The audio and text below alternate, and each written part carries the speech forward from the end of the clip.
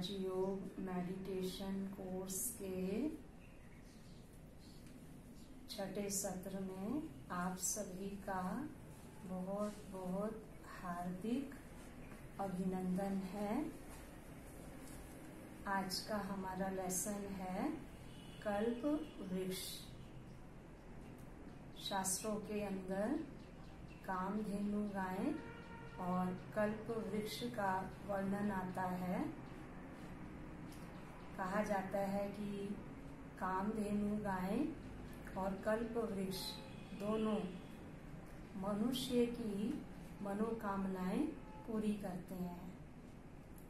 जो भी अपने मन के अंदर इच्छा लेकर कामधेनु गाय के पास जाते हैं या कल्प वृक्ष के नीचे बैठते हैं तो दोनों मनुष्य को मनवांछित फल देते हैं। तो कल्प वृक्ष को जो दिखाया गया शास्त्रों के अंदर, वो उल्टा वृक्ष दिखाया गया है। जैसे आप देखेंगे, यहाँ दिखाया गया है इस चित्र के अंदर।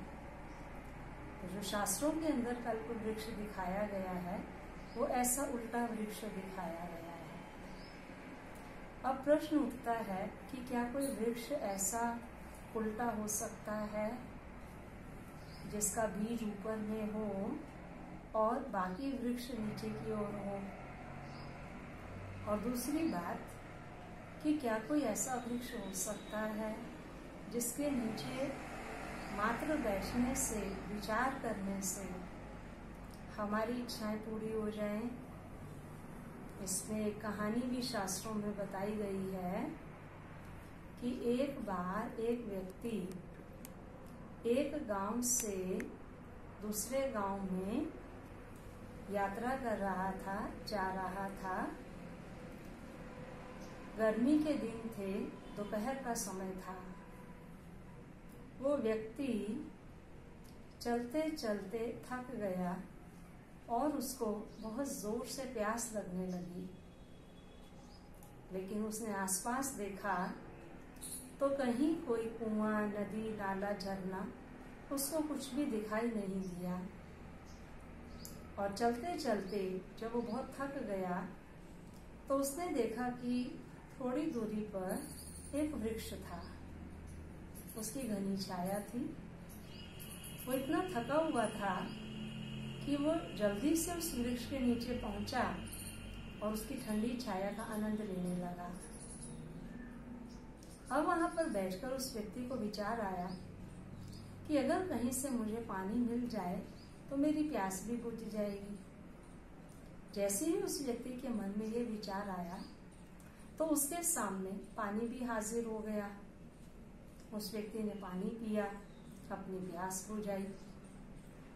कुछ क्षणों के बाद उस व्यक्ति के मन के अंदर संकल्प आया कि मुझे तो भूख भी लगी है।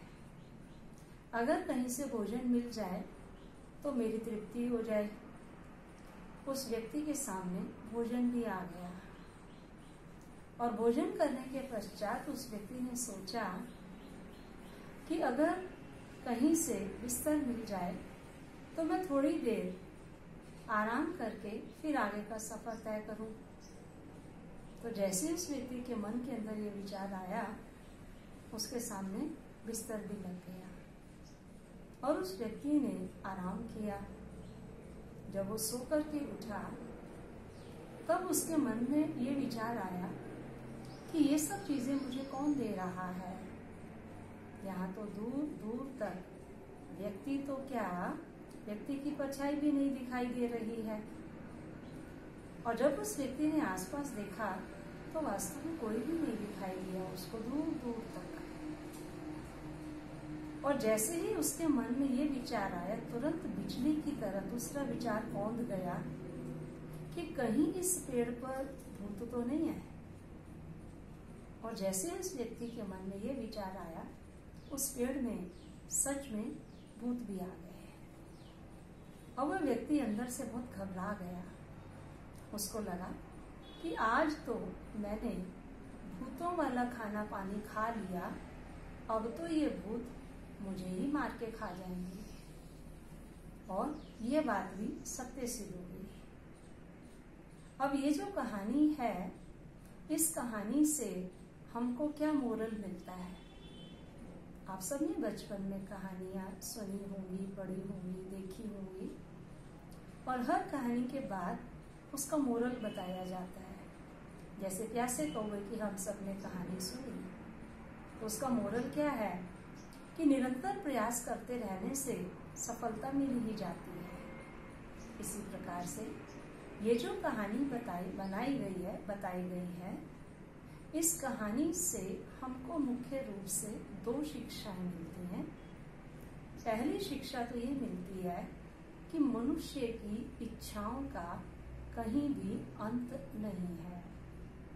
कहा जाता है, इच्छा तृष्णा ना मिटे मिट मिट जाए शरीर कि मनुष्य के शरीर का अंत हो जाता है, लेकिन उसकी इच्छा का अंत नहीं होता है। मरना सन्न व्यक्ति मृत्यु शैया पर है। और मरते मरते क्या कहता है? मेरी अंतिम इच्छा ये है कि मेरे मरने के बाद ऐसा होना चाहिए। या परिवार वाले ही उससे पूछ लेते हैं कि आपकी कोई अंतिम इच्छा तो नहीं है? तो वो बताता है कि मेरी ये अंतिम इच्छा है। यानी कि इच्छाएँ मरती नहीं है, दिनों दिन बढ़ती चली जाती हैं और कहा जाता है कि आपकी इच्छाएँ ही आपकी समस्याओं का कारण है। अगर आप अपनी इच्छाएँ कम कर दें तो आपकी समस्याएँ भी कम हो जाएँगी। तो इसका अर्थ ये नहीं है कि हम जीवन के जो साधन हैं, वो भी न जुटाएँ, हम मेहनत करना छोड़ दें, परिश्रम ही ना करें, प्रयास ही ना करें, इसका भावार्थ ये नहीं है। लेकिन इच्छाएँ यानी कि वो बातें या वो चीज़ें, जिनके बिना भी हमारा गुजारा हो सकता है, उन चीज़ों के प्रयास के लिए प्राप्त करने के लिए हम कोई पाप का खाता न बनाएँ। जैसे आप सभी ने इकोनॉमिक्स में भी पढ़ा होगा कि तीन चीज़ें होती हैं। एक है इच्छा, दूसरी है आवश्यकता और तीसरी है अनिवार्यता। इच्छाओं का कहीं अंत नहीं है। जैसे, आज एक गरीब व्यक्ति है जो मजदूरी करता है और मजदूरी करने के लिए रोज पैदल आता जाता है। वो भगवान को क्या कहता है कि, हे भगवान, मैं रोज पैदल आता जाता हूँ, थक जाता हूँ। कम से कम मुझे एक साइकिल तो दे दे। और जब उसको एक साइकिल प्राप्त हो जाती है, उसको बड़ा आनंद आ जाता है कि देखो, मैं रोज पैदल आता जाता था। और साइकिल से कितना आराम हो गया है। मैं जल्दी भी चला जाता हूँ, जल्दी आ भी जाता हूँ, थकता भी नहीं। लेकिन कितने समय थोड़े दिन के बाद जब वो लोगों को देखता है कि वो बाइक पर जा रहे हैं, उसको क्या लगता है? अरे, मैं तो पेडल मार मार के थक जाता हूँ। ये बाइक वाले तो बड़े अच्छे हैं। एक बार स्टार्ट करते हैं, मंजिल पर पहुँच के रुकते हैं। कोई थकावट नहीं होती उनको। फिर वो भगवान के आगे फिर अर्जी डालता है। उसको बाइक भी मिल जाती है। जब बाइक आती है तो उसे बहुत आनंद आता है। अब ठीक है। अब मुझे पैडल नहीं मारने और बाइक आने के कुछ समय बाद फिर उसकी नज़र किस पर जाती है? गाड़ियों पर ऊपर जाती है। ये तो बहुत आराम से आते जाते हैं। इनको तो हैंडल पकड़ना भी नहीं पड़ता, ब्रेक लगानी भी नहीं पड़ती, बैलेंस बनाना भी नहीं पड़ता। गाड़ी में बैठे स्टार्ट किए और पहुँच गए अपनी मंजिल के ऊपर। सर्दी, गर्मी, बरसात, हर तरह से इनका बचाव है। फिर वो इच्छा, उसकी कौन सी जागृत होती है? गाड़ी की। गाड़ी भी मिल जाती है लेकिन कहा जाता है कि आपकी गाड़ी पुरानी कब होती है? जब आपके पड़ोसी के घर नई गाड़ी आती है। तो आपको अपनी गाड़ी क्या लगने लग जाती है? सॉरी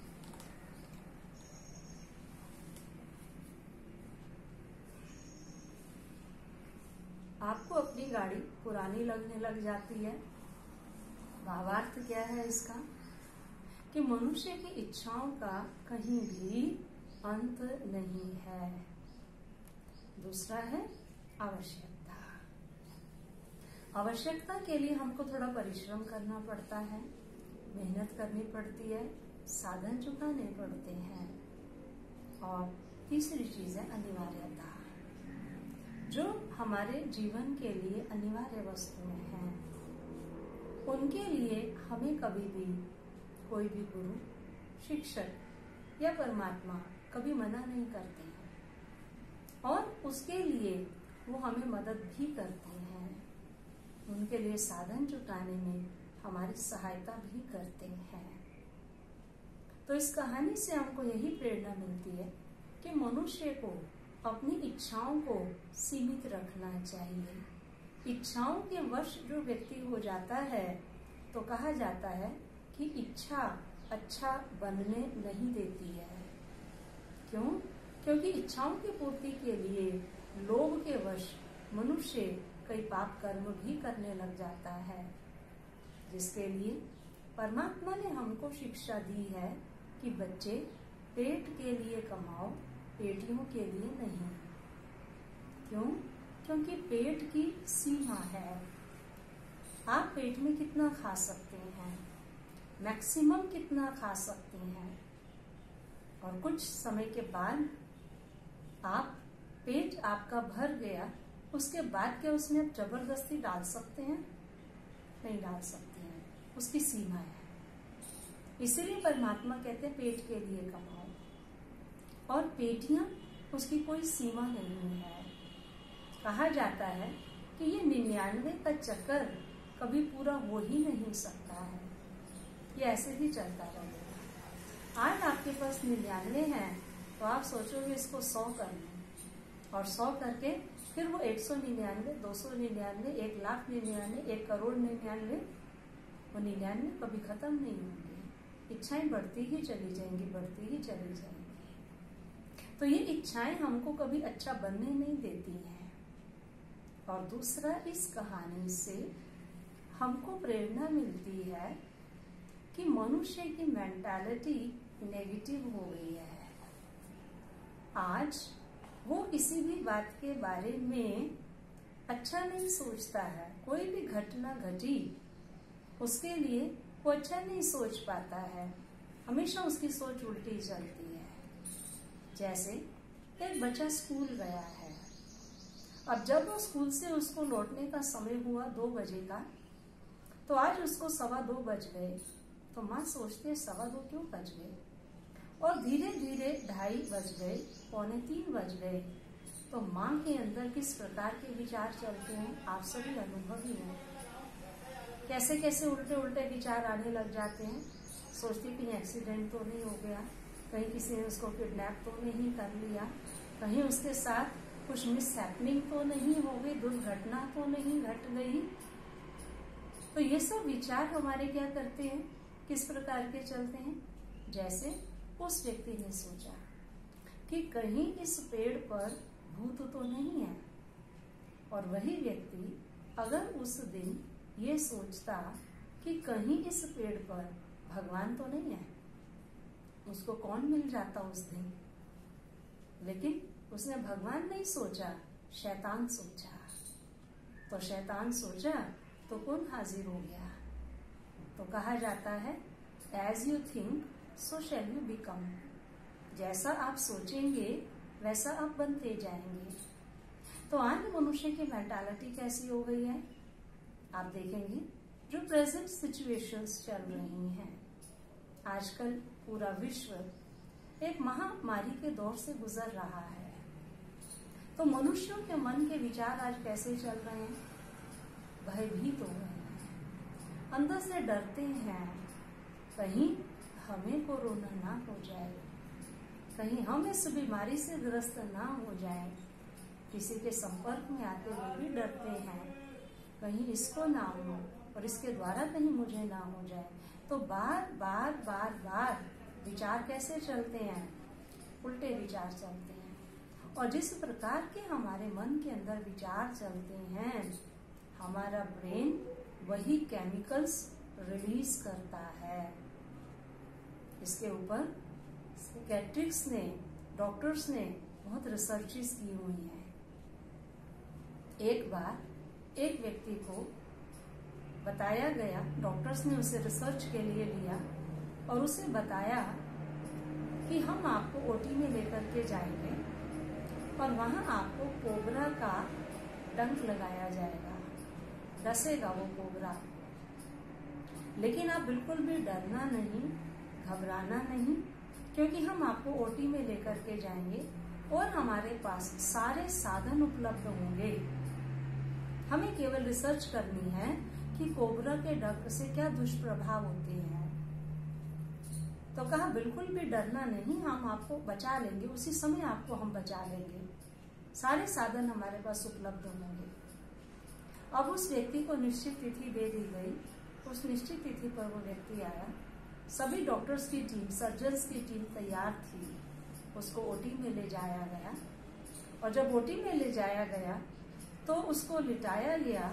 लिटाने के बाद उसके पैर में हल्की सी चुभन महसूस हुई।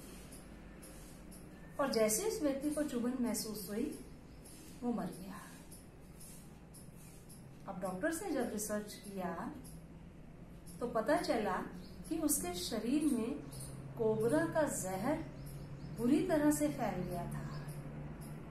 जबकि डॉक्टर्स ने उसके पैर में एक ऑयल पिन चुभाई थी, न कि कोबरा का कोई डंक लगा था उसको। तो ये है हमारी विचार शक्ति। कि जिस प्रकार के हम विचार करते हैं, वो हमारे मन और तन दोनों को प्रभावित करते हैं। तो अगर हम उल्टे विचार करते हैं तो उन नेगेटिव थॉट्स का जो प्रभाव होता है, वो भी नेगेटिव होता है हमारे मन के ऊपर भी और हमारे शरीर के ऊपर भी। तो इस कहानी से हमको यही प्रेरणा मिलती है कि हमको विचार सदा कैसे रखने हैं, ऊँचे रखने हैं, अच्छे रखने हैं। और इसका इस कल्प वृक्ष में जो दिखाया गया है कि कल्प वृक्ष उल्टा क्यों है? जैसे पहली बात आपको बताई थी, ये वृक्ष उल्टा वृक्ष दिखाया गया तो इसको उल्टा दिखाने का भावार्थ क्या है? जैसे आप देखेंगे कि हर वृक्ष का बीज हम धरती में डालते हैं। जब धरती में हम बीज डालते हैं तो जो पेड़ है, बीज की ऑपोजिट दिशा में बाहर की ओर निकलता है। वो धरती के अंदर भी अपनी जड़ें पकड़ता है। लेकिन जो ज़्यादा फैलता फल फूलता है, वो खुले में फैलता है, आकाश में स्पेस में, उसको स्पेस चाहिए होता है। लेकिन इस वृक्ष को कैसा दिखाया गया? उल्टा दिखाया गया है। इसका मतलब इस सृष्टि रूपी वृक्ष का जो बीज है, इसको क्या कहा गया? कल्प वृक्ष कहा गया यानी, सृष्टि की कल्पना की गई है एक वृक्ष के रूप में। जैसे कई कई हमारे दार्शनिकों ने, विद्वानों ने सृष्टि को अनेक संज्ञाएँ दी है। किसी ने कहा कि सृष्टि जो है, वो चिड़िया रहन बसेरा है। किसी ने कहा, सृष्टि मुसाफिर खाना है। किसी ने कहा कि सृष्टि तो चलती नदियाँ की तरह है। किसी ने कहा, सृष्टि चूहे रानी है। जिस प्रकार से चूहे दानी में चूहे अपनी मर्ज़ी से आ तो जाते हैं, लेकिन बाहर नहीं जा सकते, उसी प्रकार से हम इस दुनिया में आ तो जाते हैं। लेकिन यहाँ से मुक्ति और जीवन मुक्ति देने के लिए हमको कोई और चाहिए। हम स्वयं नहीं जा सकते हैं। इसी प्रकार से किसी ने सृष्टि की जो कल्पना की, वो एक वृक्ष के रूप में की है। कि सृष्टि जो है, वो एक वृक्ष के समान है और सृष्टि रूपी वृक्ष को जो उल्टा दिखाया गया है, क्योंकि जो सृष्टि का रचयिता है, नियंता है डायरेक्टर है, वो कौन है? वो परमात्मा है। और परमात्मा इस सृष्टि रूपी वृक्ष का बीज रूप है। कहा जाता है कि जो ब्रह्मांडे सो पिंडे कि जो ब्रह्मांड में है वही हमारे शरीर में है। तो हमारे शरीर में मैं आत्मा कहाँ रहती हूँ? सबसे ऊपर रहती हूँ। मस्तक के बिल्कुल बीच में सेंट्रल प्लेस पे रहती हूँ। तो शरीर में आत्मा सबसे ऊपर रहती है और ब्रह्मांड में परमात्मा सबसे ऊपर निवास करते हैं। तो बीज जो है, इस वृक्ष का जो बीज है, वो ऊपर है। परमात्मा ऊपर निवास करते हैं। और बाकी सारी सृष्टि जो है, वो नीचे है। इसलिए इस कल्प वृक्ष को कैसा दिखाया गया है? उल्टा वृक्ष दिखाया गया है, क्योंकि बीज परमात्मा ऊपर निवास करते हैं। और जैसे कहा गया कि वृक्ष के नीचे बैठ करके मनुष्य की मनोकामनाएँ पूरी होती हैं। हम्म? तो अगर ऐसा कोई वृक्ष हो तो आज का मनुष्य क्या मांगेगा? जैसे कहते हैं कि कलयुगी दुनिया के अंदर एक भगत ने भगवान की बहुत भक्ति की, बहुत पूजा की, तपस्या की। भगवान उनसे बहुत प्रसन्न हो गए। और प्रसन्न होकर के भगवान ने उससे कहा कि मांगो, तुम क्या मांगना चाहते हो? मैं तुमसे प्रसन्न हूँ, तुमको वर देना चाहता हूँ। तो उस भगत ने दोनों हाथ जोड़ के सिर झुका के कहा कि भगवान, मेरे को केवल एक ही वर दो आप, कि जो चीज़ मेरे पास एक हो, मेरे पड़ोसी के पास दो होनी चाहिए। तो भगवान ने सोचा कि कलयुग की दुनिया के अंदर ऐसा भी मनुष्य हो सकता है, जो ये कहे कि मेरे पास एक गाड़ी हो, मेरे पड़ोसी के पास दो गाड़ियाँ हों, मेरे पास एक बंगलो हो तो पड़ोसी के पास दो हों, मेरे पास एक करोड़ की संपत्ति हो तो पड़ोसी के पास दो करोड़ की हो। तो भगवान ने सोचा, कभी भी दुनिया के अंदर ऐसा मनुष्य तो कोई मिल ही नहीं सकता है। भगवान ने प्रसन्न होकर के तुरंत उसको तथास्तु कह दिया। अगली सुबह वो व्यक्ति उठा और भगवान से वरदान मांगने लगा। और जानते हैं उसने भगवान से क्या वरदान मांगा? उसने कहा, हे भगवान, मेरी एक आँख फूट जाए। तो क्या होगा? अगली सुबह वो उठा, उसने कहा, भगवान, मेरे घर के आगे एक कुआँ फूट जाए। तो पड़ोसी के घर के आगे। तीसरी सुबह उठा तो कहा, भगवान, मेरा एक पुत्र मर जाए। तो क्या होगा? तो आज मनुष्य अपने दुख से इतना दुखी नहीं है जितना दूसरों के सुख से दुखी है। तो जब ऐसा दुख का अति का समय आ जाता है, सब मनुष्य मनुष्य आत्माएँ काम क्रोध आदि विकारों के खूनी पंजे में जकड़ी हुई होती हैं। तब परमात्मा को पुनः सृष्टि पर आना पड़ता है, जो गीता में भगवान ने कहा कि धर्म संस्थापनार्थाए संभवामी युगे युगे। कि परमात्मा जब इस धरा पर आते हैं तो अधर्म का बोलबाला होता है। और अधर्म का विनाश कर, सत्य धर्म की स्थापना करने के लिए परमात्मा को इस धरा पर आना पड़ता है। आज आप देखेंगे, कलयुग की दुनिया में कितने धर्म हैं। कहा जाता है, जितने लोग, उतने धर्म हैं।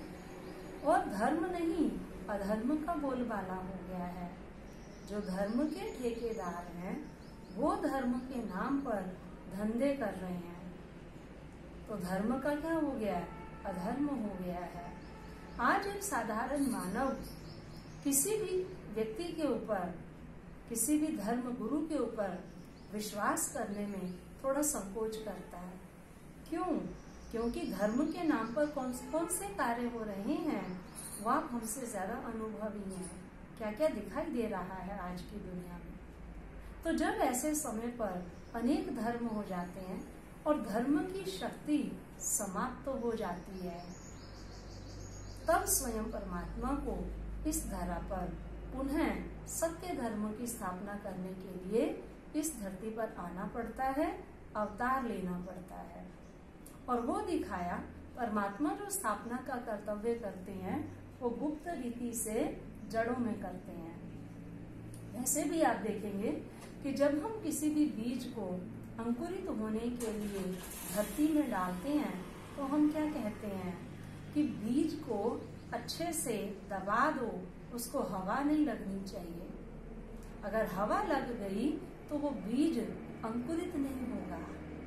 इसी प्रकार से परमात्मा भी सृष्टि पर जब स्थापना का कर्तव्य करते हैं तो वो गुप्त रीति से कर्तव्य करते हैं।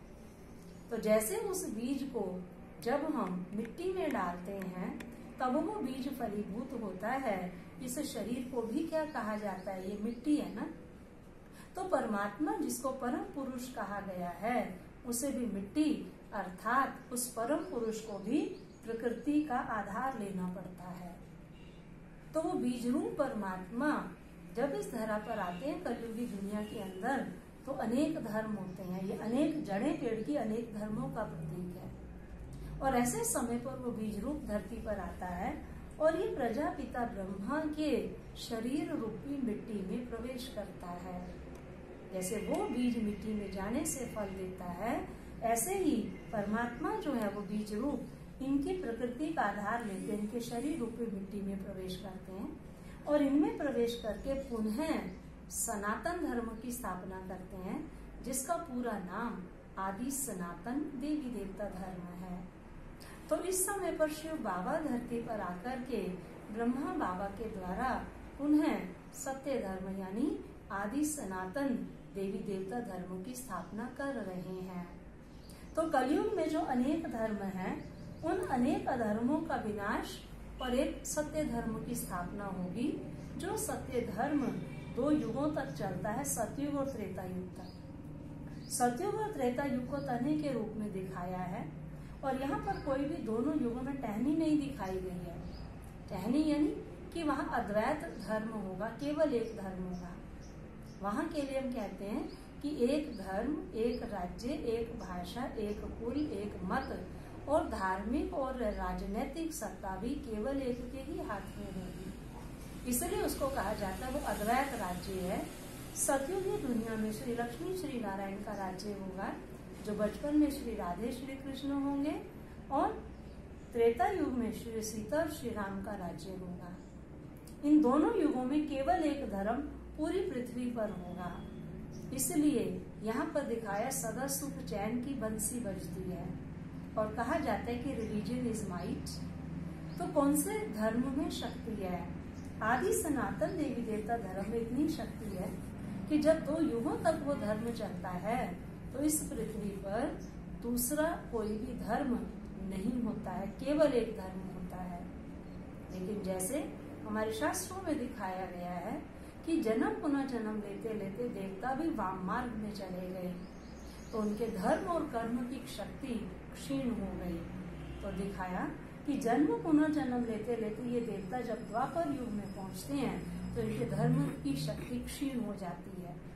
और जब आदि सनातन देवी देवता धर्म की शक्ति क्षीण हुई, तब दूसरे दूसरे धर्म पिताएँ इस धरा पर आते हैं, अवतार लेते हैं और अपने अलग अलग धर्मों की स्थापना करते हैं। जिसमें दिखाया, सर्वप्रथम इब्राहिम आते हैं, इस्लाम धर्म वंश की स्थापना करते हैं महात्मा बुद्ध आते हैं बौद्ध धर्म की स्थापना करते हैं, क्राइस्ट आते हैं, क्रिश्चियनिटी की स्थापना करते हैं और द्वापर के अंत में शंकराचार्य आते हैं, आकर संन्यास धर्म की स्थापना करते हैं। तो मुख्य रूप से तीन धर्म पिताएँ, इब्राहिम, बुद्ध और क्राइस्ट आते हैं और चौथा शंकराचार्य द्वापर के अंत में आकर संन्यास धर्म की स्थापना करते हैं। और जब ये आत्माएँ परम धाम से धर्म पिताएँ उतरते हैं तो इनके पीछे इनके धर्म की आत्माएँ भी उतरती हैं, जो धर्म पिता को टहनी के रूप में दिखाया और धर्म की आत्माओं को पत्तों के रूप में दिखाया हुआ है। और जब चौथा युग कलयुग आता है तो कलयुग में दिखाया कि अनेक धर्म, मठ, पंथ, समाज, सम्मेलन, संगठन, आश्रम अनेक बन जाते हैं। और कहा जाता है कि यही जो समय है, ये धर्म गिलानी का समय होता है। तो यहाँ दिखाया कि ऐसे धर्म गिलानी के समय पर परमात्मा पुनः इस धरा पर अवतार लेते हैं, प्रजापिता ब्रह्मा के तन में। जो सत्यनारायण की कहानी में कहा गया कि बूढ़ो ब्राह्मण बन के कंचन महल की हो ये जो सत्यनारायण स्वामी हैं, वो बूढ़े ब्राह्मण के रूप में आते हैं। तो यहाँ यही दिखाया, सबसे ऊपर प्रजापिता ब्रह्मा खड़े हैं और सबसे नीचे विष्णु चतुर्भुज खड़े हैं।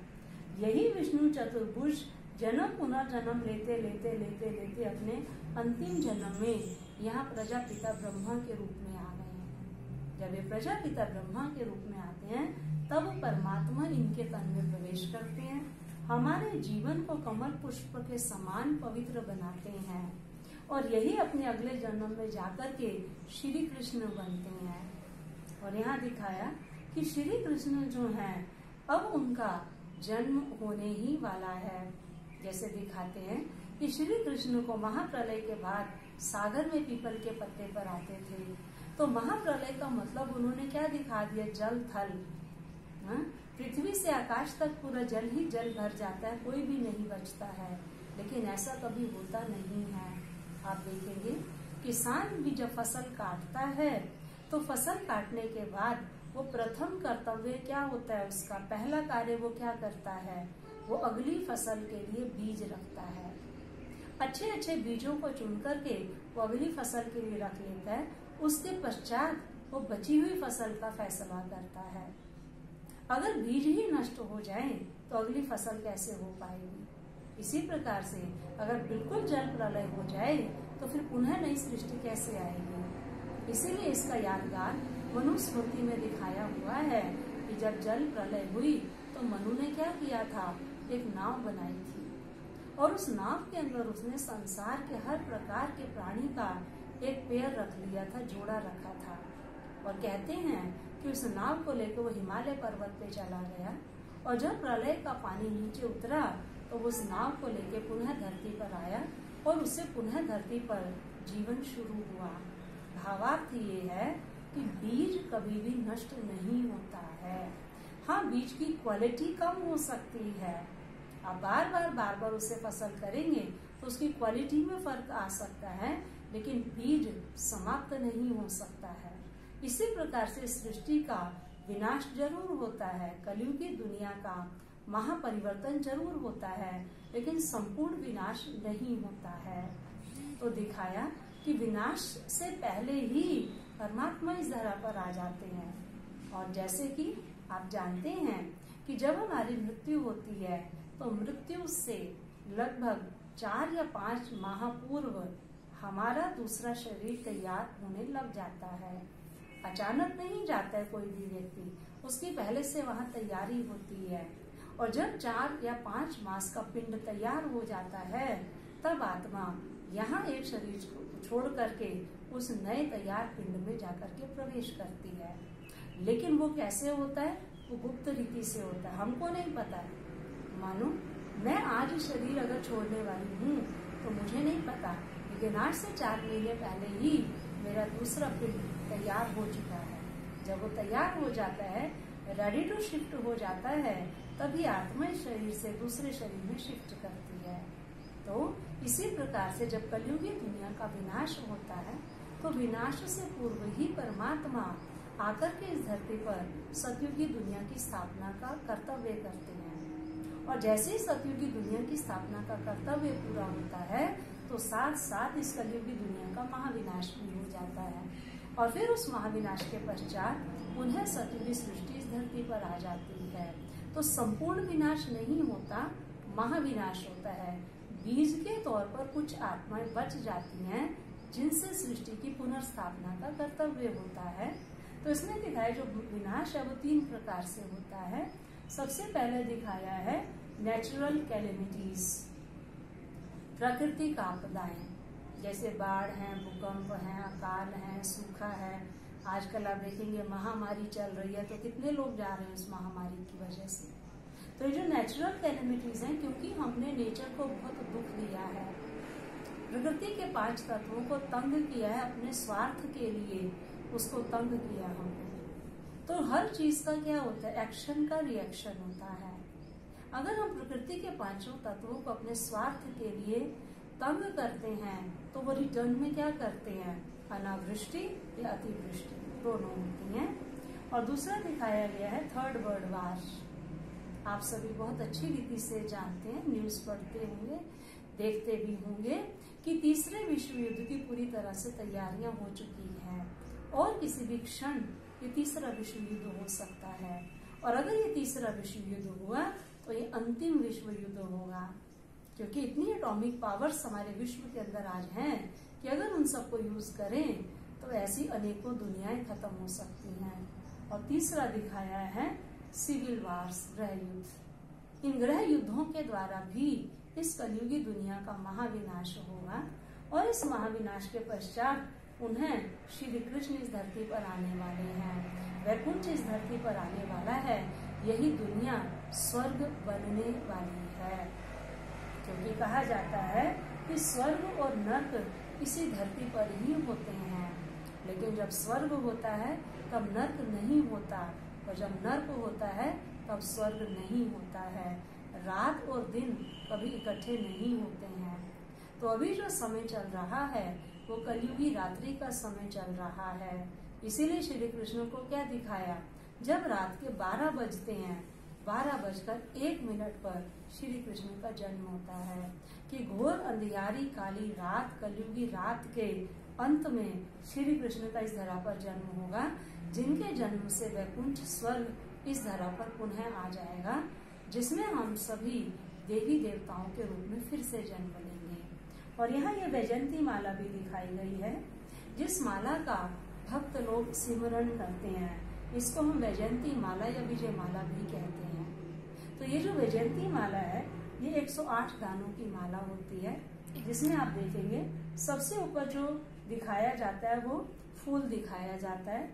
उसके बाद ये दो दाने जुड़े हुए दिखाए जाते हैं, जिसको मेरू कहा जाता है, और उसके बाद 108 दानों की माला बनाई हुई है। इसमें दिखाया है कि जो फूल है, वो परमात्मा शिव का यादगार है। जो दो दाने जुड़े हुए दिखाए हैं, वो प्रजापिता ब्रह्मा और जगदम्बा सरस्वती का यादगार है। और उसके बाद ये 108 वो आत्माएँ हैं, जिन्होंने इस समय पर परमात्मा की आज्ञा पर चलकर माया, यानी काम क्रोध आदि विकारों पर संपूर्ण विजय प्राप्त की है। तो विजय का यादगार उनकी वैजंती माला बनाई गई है जिन भी आत्माओं ने इस समय पर परमात्मा कार्य में तन, मन, धन से मदद की है। जहाँ भी परमात्मा का नाम लिया जाता है, वहाँ उन आत्माओं का भी नाम लिया जाता है। और उसमें भी विशेष रूप से जब परमात्मा इस धरा पर अवतार लेते हैं और अवतरित होकर के नई सृष्टि की स्थापना का कर्तव्य करते हैं तो उसमें जो ज्ञान, अमृत का कलश रखते हैं वो नारी के सिर के ऊपर रखते हैं। क्योंकि आज का जो हमारा समाज बन गया है, वो कौन सा समाज बन गया है? वो पुरुष प्रधान समाज बन गया है। और हमारे शास्त्रों में ये बात लिखी हुई है कि जिस घर में नारी का सम्मान होता है, वो घर स्वर्ग बन जाता है। और जिस घर में नारी का अपमान होता है, वो घर नर्क बन जाता है। तो आप देखेंगे कि आज के समाज के अंदर नारी की क्या दुर्दशा हो गई है? नारी को केवल एक भोग की वस्तु या अंग प्रदर्शन की वस्तु मान करके उपयोग किया जाता है। लेकिन आप देखेंगे, जब सतयुग और त्रेता था तो सतयुग और त्रेता के लिए क्या कहा जाता था? वहाँ पर पहले देवी, फिर देवता कहा जाता है। पहले राधे, फिर श्याम, पहले सीता, फिर राम, पहले लक्ष्मी, फिर नारायण। तो दो युगों तक इस धरती में नारी का सम्मान था तो वो धरती स्वर्ग थी, लेकिन द्वापर युग से नारी का अपमान शुरू हुआ। और जब नारी का अपमान शुरू हुआ, उसे भोग की वस्तु माना जाने लगा और उसका दुरुपयोग किया गया, तब ये धरती धीरे धीरे क्या बन गई? नर्क बन गई। तो वह कहा, परमात्मा ने फिर से आकर के नारी को उसको खोया हुआ सम्मान वापस प्राप्त कराया। वंदे मातरम कहा जाता है, वंदे पितरम नहीं कहा जाता, माता पिता कहा जाता है, पिता माता नहीं कहा जाता है। इसी प्रकार से भारत माताओं की जय कहा जाता है। भारत को भी माता के रूप में दिखाया गया है। तो भारत की वो माताएँ, जिन्होंने इस समय पर परमात्मा कार्य में मदद की, उन माताओं की परमात्मा के साथ साथ पूजा होती है, उनका नाम लिया जाता है। और ये माया के खिलाफ, विकारों के खिलाफ परमात्मा ने जो सेना बनाई है, इसको नाम दिया है शिव शक्ति पांडव सेना। और ये शिव शक्ति पांडव सेना इस पृथ्वी से माया, रावण, काम क्रोध आदि विकारों का राज्य समाप्त करने के लिए बनाई हुई है। हमारी जो युद्ध है, वो इन विकारों से है। और जब ये विकारी राज्य समाप्त हो जाएगा तो पुनः सत्युग इस धरती पर आ जाएगा। तो जो परमात्मा का कार्य चल रहा है, वो इस समय गुप्त रीति परमात्मा का कार्य चल रहा है। इस नर्क को स्वर्ग बनाने का कार्य चल रहा है। और उसके लिए परमात्मा उन्हें आदि सनातन देवी देवता धर्म की स्थापना कर रहे हैं। तो यह हम थोड़ा सा आपको ये भी बताना चाहेंगे कि दूसरे धर्मों की स्थापना और आदि सनातन देवी देवता धर्म की स्थापना में मुख्य क्या अंतर है? तो पहला मुख्य अंतर है कि जो दूसरे धर्मों की स्थापना होती है वो धर्म पिता के द्वारा होती है। लेकिन जो आदि सनातन देवी देवता धर्म की स्थापना होती है, वो परम पिता के द्वारा होती है। दूसरी बात कि जो दूसरे धर्म पिताएँ जब धरती पर आते हैं तो उस धर्म की आत्माएँ सब परम धाम में होती हैं, ऊपर होती हैं। लेकिन जब उनका धर्म पिता ऊपर से नीचे उतरता है तो उसके पीछे पीछे उसके धर्म की आत्माएँ इस धरा पर आती हैं। लेकिन जब आदि सनातन देवी देवता धर्म की स्थापना करने के लिए कलयुग के अंत में परमात्मा इस धरा पर आते हैं तो उससे पहले ही आदि सनातन देवी देवता धर्म की आत्माएँ इस धरा पर उपस्थित होती हैं। तीसरी मुख्य बात कि आदि सनातन देवी देवता धर्म की जब स्थापना होती है तो उसकी स्थापना के बाद सतयुग और त्रेता दो युगों तक केवल एक ही धर्म रहता है, दूसरा कोई धर्म इस धरती पर नहीं आता है। लेकिन जो दूसरे दूसरे धर्म आते हैं तो उनके होते, उनके पीछे अनेक धर्म इस धरती पर आ जाते हैं। और जो आदि सनातन देवी देवता धर्म की स्थापना का फाउंडेशन है, वो प्योरिटी है। प्यूरिटी ही पीस और प्रोस्पेरिटी इस धरती पर ला सकती है। तो परमात्मा पुनः उस देवी देवता धर्म की स्थापना करते हैं और जो उसके द्वारा कर्तव्य कराते हैं, परमात्मा के कार्य में मददगार बनती हैं, वो विशेष रूप से कन्याएँ और माताएँ बनती हैं। हमारा विश्व आज नारी सम्मान या नारी उत्थान की बात कर रहा है। लेकिन परमात्मा ने जब 1936 में इस तरह पर अवतार लिया, तभी उन्होंने नारी के सिर पर कलश रखा, नारी को अग्रणी रखा। उससे पहले इस समाज के अंदर नारी को संन्यास का कोई अधिकार नहीं था। लेकिन परमात्मा ने इस धरा पर अवतार लेकर के नारी को ही संन्यास का अधिकार दिया। यहाँ पर ब्रह्मा कुमारी संस्था पूरे विश्व के अंदर अपने आप में केवल एक ऐसी संस्था है जिसका पूर्ण रूप से संचालन बहनों के द्वारा होता है। यहाँ भाई भी हैं, लेकिन मददगार के रूप में हैं। लेकिन जो मेन चार्ज है, वो बहनों के ऊपर है। ये नारियों की विशेष रूप से संस्था है। इसलिए इसका नाम ब्रह्मा कुमारी संस्था रखा गया है। ऐसा नहीं है कि इसमें ब्रह्मा कुमार नहीं है। ब्रह्मा कुमार भी हैं। दोनों एक दूसरे के सहयोग से कर्तव्य करते हैं। लेकिन परमात्मा ने क्योंकि नारी को आगे रखा, नारी के द्वारा इस दुनिया को स्वर्ग बनाया, इसलिए इसका नाम ब्रह्मा कुमारी संस्था रखा गया है। तो हम आपका इस सत्र के द्वारा आज आह्वान करते हैं और आप सभी को हार्दिक निमंत्रण देते हैं कि आइए और आप भी आकर के परमात्मा के इस कर्तव्य में मददगार बनिए और स्वयं को आने वाली नई दुनिया स्वर्ग में चलने के लिए लायक बनाए, क्योंकि बहुत जल्दी ही अब ये भारत सोने की चिड़िया पुनः बनने वाला है। तो आज के इस सत्र को हम यही संपन्न करते हैं। कल आपके साथ फिर एक नए सत्र से मिलेंगे। तब तक के लिए विदाई। ओम शांति शांति शांति।